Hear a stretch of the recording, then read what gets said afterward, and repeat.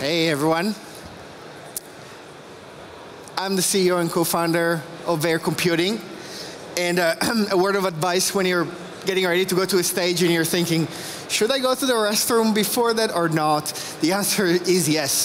So it's going to be a very, very quick presentation. So I'm building on the most exciting technology that hopefully is going to excite you as well, which is semiconductors. The way we see semiconductors, particularly computer chips, is because they're the only defensible choke point between energy and information. We see a world where you have infinite abundant energy. We're not quite there yet, but we'll be there. And we see a world where, thanks to AI, the cost of generating software and running software is also next to zero. In this future, the only defensibility that we see as a company to really build a sustainable, viable business is actually building computer chips and for our customers running data centers. The problem today is that chips have actually two problems, not one. One, they're no power efficient, and the second, they're no energy efficient. These are like two different problems, right?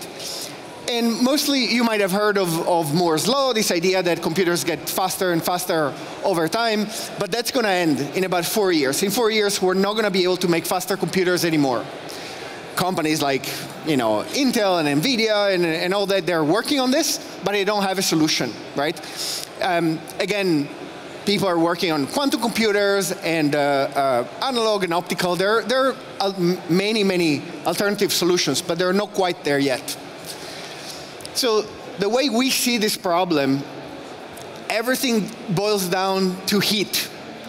Chips are getting too hot, and our ability to remove this heat from a chip is getting worse and worse every year until we reach a point where we simply, even if we were putting them into liquid nitrogen, simply we couldn't be able to remove enough heat from the system.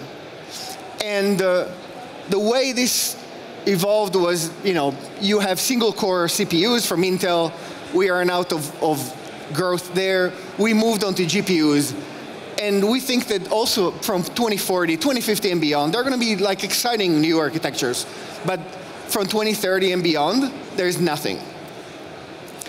Everyone is investing on more energy generation, the problem is converting this energy into information is very, very inefficient.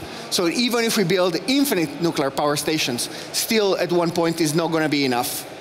The solution that you might be surprised, that's what we're selling. It's called reversible computing. And I really encourage everyone to Google this because it's a massive rabbit hole that five years ago I fell into. I fell in love with this and I decided this was going to be my life mission. And luckily, I discovered other people on the planet that had gone through the exact same process, and we co-founded a company together. Reversible computing is the idea that when you perform any kind of computation and you use the energy to perform this compute, instead of like a normal transistor throwing away this charge, you recycle internally. Sounds simple, obviously doing this in practice is incredibly complicated, and that's what we're doing. The idea is similar to an internal combustion engine, the piston, right? Where it, it there is a combustion, goes down, and then comes back again and reuses the, the energy as work, as opposed to coming to a full stop, which was how um, chips work today. This is what it looks like, sort of, um, and we call our chip a near zero energy chip. And by near zero, we mean a chip that uses almost no energy to operate, and more importantly, does not dissipate almost any heat.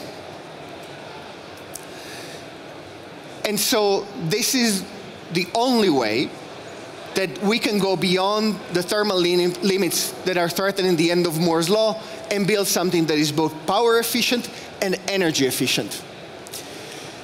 And more importantly, we can get to market in way faster than everyone else. um, where the technology that our chip is built on is CMOS, which is basically like every other chip out there. So we don't require anything different from a manufacturing perspective. And the other thing is like, how is it possible that a startup can build a, a new chip? Because of course, they're fairly expensive to finance. Is we're not building a what is called a CPU, a general purpose chip, but we're building something that only does linear algebra, matrix multiplications, which is also complex, but it's not as complex as a CPU. And uh, we're going to ship our test chip in Q1. I think this is probably the first time we talk about this publicly in a public forum. Um, a test chip is something where we can demonstrate our amazing energy efficiency and everything that I, I told you about this point about being energy efficient, power efficient, like we can demonstrate on, on silicon.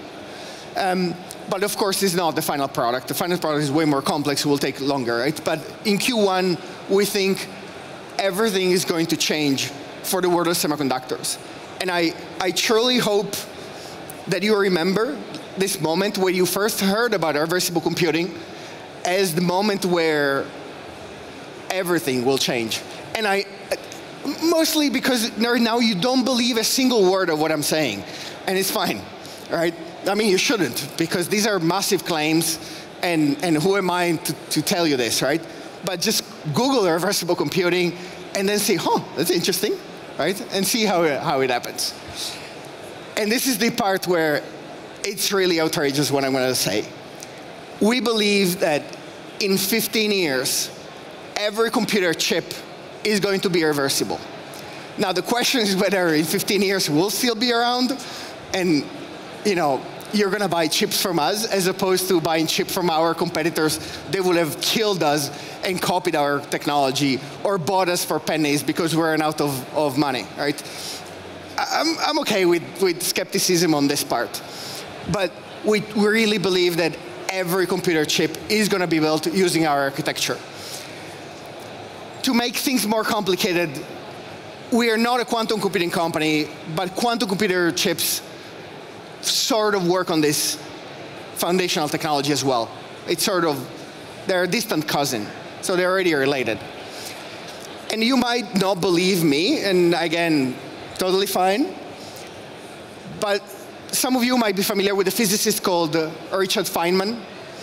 Um, he passed away in the mid-80s, but in the early 80s, he talked about reversible computing.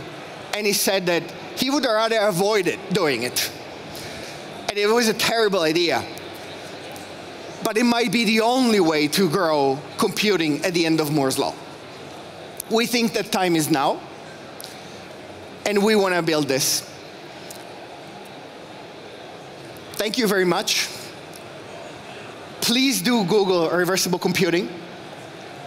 And please do spend the next six months obsessing over this technology and then come to work with me. Thank you.